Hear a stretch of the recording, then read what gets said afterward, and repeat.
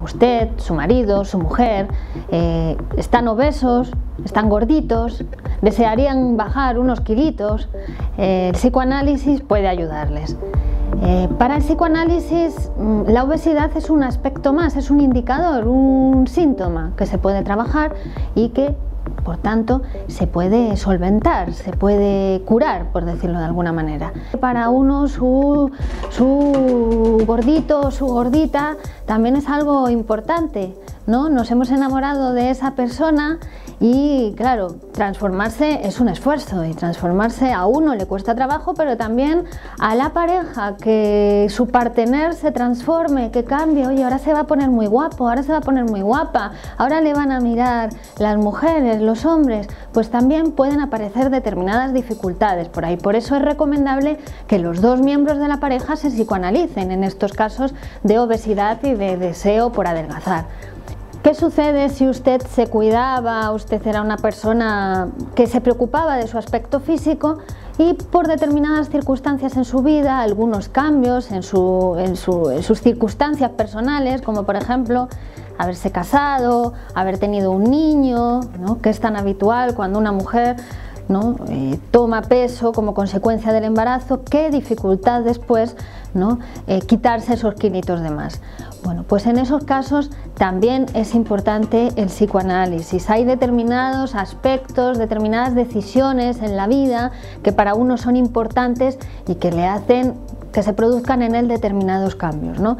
Bueno, pues eh, cuando esos cambios no son muy gustosos o favorecedores para uno, uno tiene que analizar, ¿no? Tiene que analizar cuáles son los elementos importantes en, esa, en ese contexto para poder transformarse. Bueno, hay problemáticas eh, alimentarias que afectan a la relación de pareja, que incluso pudieron darse en el pasado de una persona, como un episodio de, de bulimia, de anorexia, y que no han terminado de resolverse del todo, que han quedado ciertamente abiertas.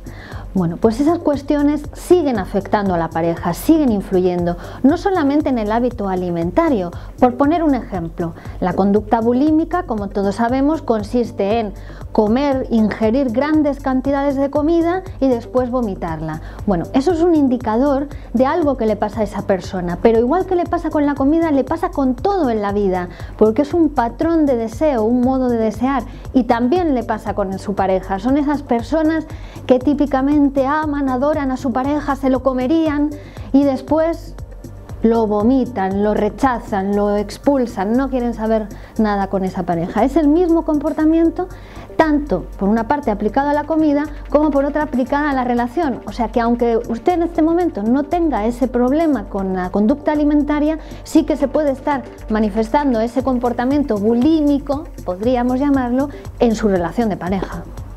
Cuando se sustituye un goce por otro, y en el caso de los trastornos alimentarios, el goce implicado principalmente es el goce oral, el goce de la oralidad.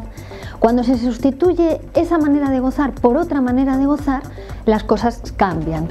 Hay que decir que a lo que más nos cuesta a las personas es cambiar, es transformarnos.